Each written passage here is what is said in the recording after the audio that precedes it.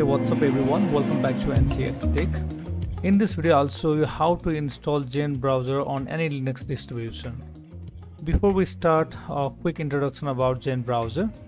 Zen browser is a free and open source web browser based on Mozilla Firefox. It's known for its unique design, vertical tabs, workspaces, built-in privacy features, and a highly customizable interface. If you like having control over how your browser looks and works and care about privacy, you might want to give it a try. Okay, let's get started. First, open your browser and go to zenbrowser.app. Click on the download button at the top. And under the Linux section, you'll see different download options. There's FlatHub, AppImage, and Tarball. If you want to install via Flatpak, first you need to have a Flatpak setup in your machine. And then you can run the given command on the FlatHub web page.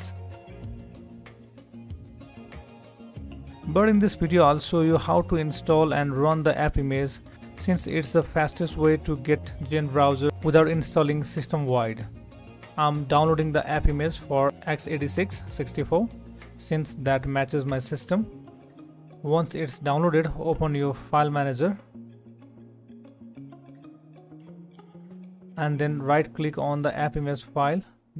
Then go to properties and under the permission tab, check allow executing file as program.